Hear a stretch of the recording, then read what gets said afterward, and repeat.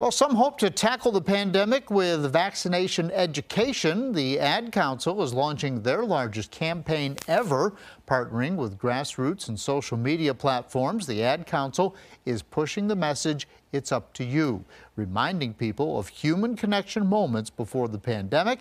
The campaign is targeting the 40% of Americans who are still hesitant to get the vaccine your questions are okay and hesitancy is okay. Like we're trying to normalize that for people. Hopefully, that lets them drop their guard a little bit and open their aperture to receive the messages. Yeah, the campaign is expected to run on all platforms for several months.